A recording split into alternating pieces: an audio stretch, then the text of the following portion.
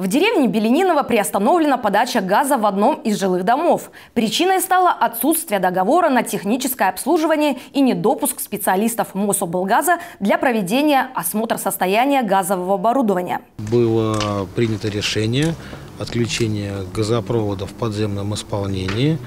А Газоснабжение у остальных абонентов не останавливалось. То есть газоснабжение работает в штатном режиме. Отключение газа – вынужденная мера для обеспечения безопасности жителей. Специалисты Мособлгаза проводят рейды с целью обследования газового оборудования и проверки его работоспособности. Данное мероприятие у нас э, регулярно проходит в городском округе.